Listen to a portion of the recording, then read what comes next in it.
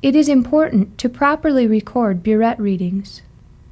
The initial value, 9.63 milliliters, should be recorded in a template in the laboratory notebook.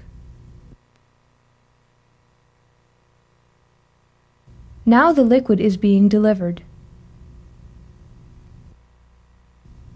After we allow the meniscus value to stabilize following titrant addition, we take our final reading, 24.13 milliliters.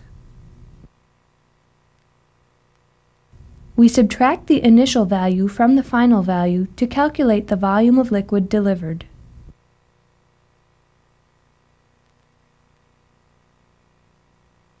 The subtraction must retain both decimal places, giving a titrant volume of 14.50 milliliters.